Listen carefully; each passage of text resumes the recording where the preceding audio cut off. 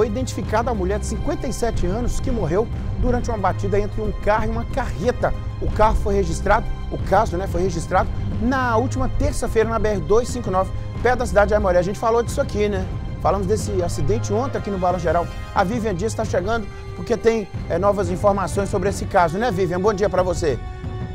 Exatamente, Nico. Bom dia para você, a todos que estão acompanhando o balanço geral. A vítima é a servidora pública da Prefeitura de Aimorés, Maria de Lourdes Ferreira, de 57 anos. Olha, o filho da vítima, né, contou à polícia que a mãe dele estava fazendo tratamento de uma doença que possivelmente os reflexos dela estavam comprometidos e que talvez ela estivesse desacordada no momento do acidente.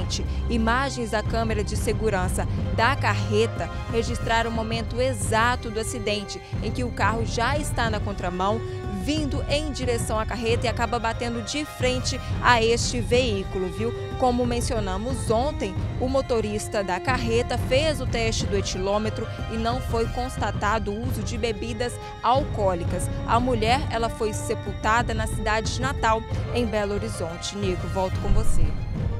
É, obrigado, Vivi, pela informação, né? Agora, o que atualiza essa questão do acompanhamento, o tratamento que ela fazia, né? que a gente percebe na imagem é que aparentemente parece que o carro vem reto, né? Típico de sem frenagem nenhuma, típico de alguém que desacordou ou que passou um mal súbito, né? É, olha só. Vem, vem assim, bruscamente, olha só. Parece até que a pessoa está prostrada assim no volante, né? Que coisa trágica, né? Obrigado Vivian Dias, daqui a pouquinho ela está de volta.